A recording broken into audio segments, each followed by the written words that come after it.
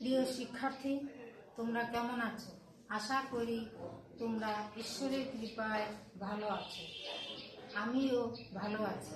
করোনার কারণে আমরা সবাই বাড়িতে আছি। সবাই আমরা স্বাস্থ্যবিধি অনুসরণ করব, পিতা, মাতা বা বড়দের কথা মেনে চলব। আজ আমি লতিকা রানী সহকারী শিক্ষক, কৃষি শিক্ষা বাহির দশমহল মাধ্যমিক বালিকা বিদ্যালয় চিতলমারি, বাগেরহাট। হতে তোমাদের অনলাইন ক্লাসে ষষ্ঠ শ্রেণির শিক্ষার্থীদের জানাই শুভেচ্ছা। শিক্ষার্থী, বন্ধুরা, আজ আমি তোমাদের ষষ্ঠ শ্রেণির কৃষি শিক্ষা বইয়ের প্রথম অধ্যায়। আমাদের জীবনে কৃষি এবং পাঠ এক, কৃষির পরিধি ও পরিসর নিয়ে আলোচনা করব। বাংলাদেশ কৃষি প্রধান দেশ। আমাদের জীবনে কৃষি অত্যন্ত গুরুত্বপূর্ণ। কেননা কৃষি আমাদের দৈনন্দিন জীবনের মৌলিক চাহিদাগুলো মেটানোর প্রায় সকল উপকরণ উৎপাদন ও সরবরাহ করে। এছাড়া অন্যান্য পণ্য ও সেবা ক্রয়ের অর্থ ও কৃষি যোগান দেয়।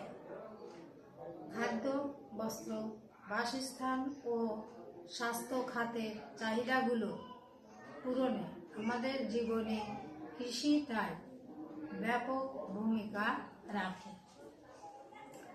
কৃষি অন্তর্ভুক্ত বিষয়গুলো যেমন ফসল, পশু পাখি, মৎস্য ও বনায়ন নিয়েই হচ্ছে কৃষির পরিধি। এ অধ্যায় পাঠ শেষে আমরা বাংলাদেশের কৃষির পরিধি এবং পরিসর ব্যাখ্যা করতে পারব।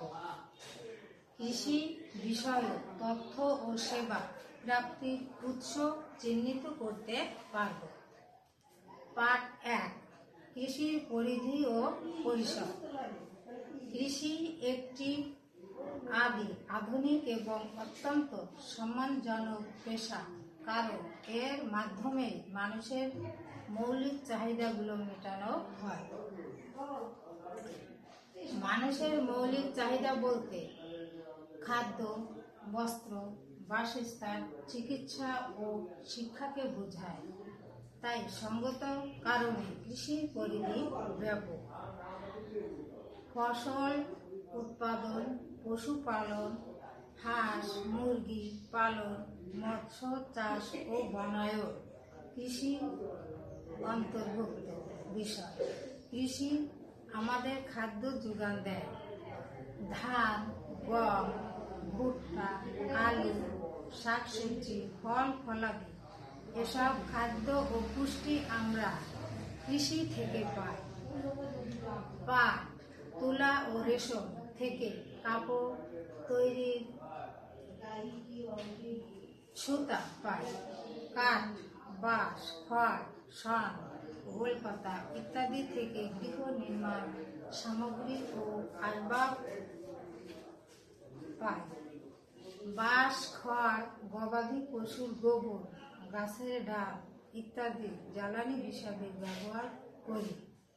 কাঠ ও আখের সোবলা বাঁশ ইত্যাদি থেকে কাগজ পাই আমলকি, হরিতকি, বয়রা, থানকুনি, বাসক ইত্যাদি থেকে ঔষধ পাওয়া যায়। দুধ, মাংস, ডিম এবং পুষ্টি সমৃদ্ধ খাবার আমরা পেয়ে থাকি। পশু পাখি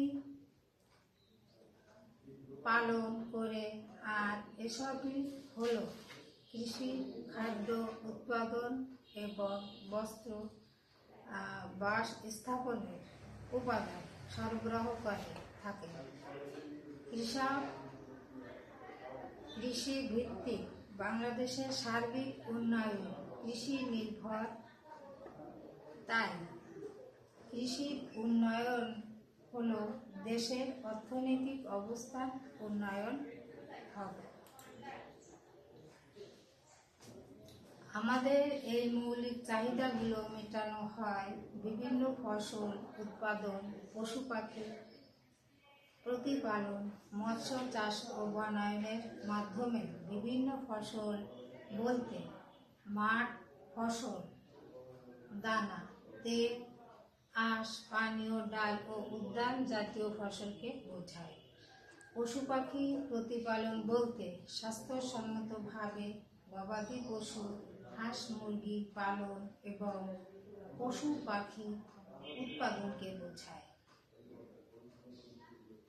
আর বনায়ন বলতে প্রাকৃতিক বনায়ন, সামাজিক বনায়ন এবং কৃষি বনায়নকে বোঝায়। শিক্ষার্থী বন্ধুরা, আজকের আলোচনা এ পর্যন্তই। তাহলে বাড়ির কাজ লিখে নাও। কৃষি মানুষের মৌলিক চাহিদা পূরণ করে। ব্যাখ্যা করো। বিদ্যালয়ে শ্রেণি কার্যক্রম শুরু করে তোমরা বিষয় শিক্ষককে দেখাবে। ধন্যবাদ।